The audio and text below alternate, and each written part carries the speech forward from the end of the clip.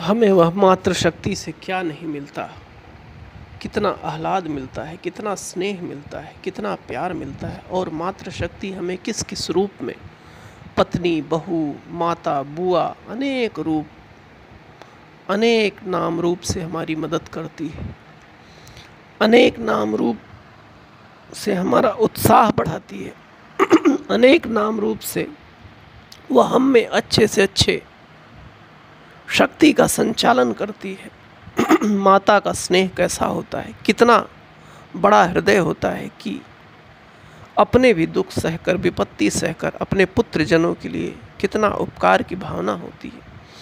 वही तो भगवती का स्वरूप है। अनेक शक्तियों के रूप में एक ही शक्ति नाना प्रकार से देश, काल, समय, पात्र की भिन्नता के कारण भिन्न सी समझी जाती है। मगर ऐसा है नहीं। वह एक ही शक्ति है।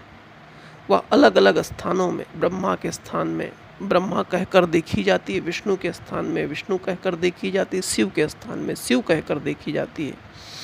इसी तरह से महापुरुषों के भिन्न भिन्न स्थानों में वह दूसरों का, जैसा उनका विचार था, जैसी उनकी दिनचर्या, जैसा उनका उस काल के अनुरूप व्यवहार, विचार और आदर्श होता है, उसी के अनुकूल उनका आचरण भी बनने लगता है।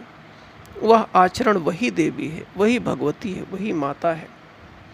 इन्हें एक ही शक्ति अपने ठोस बुद्धि से समझने का प्रयत्न करना चाहिए। यदि नहीं होता तो भिन्न भिन्न रूप में समझने का प्रयत्न करें।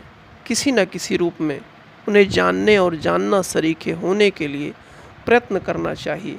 और यही प्रयत्न हमारी वह पूजा है, प्रार्थना है, आराधना है, हमारा अटूट विश्वास है, जिस विश्वास के अभाव में हम बहुत कुछ बहुत कुछ खो देते हैं। उस मातेश्वरी, भुवनेश्वरी की आराधना में अपना चिंतन और मनन समय जो निकाल कर थोड़ा उनकी सेवा में तर्पण करते हैं।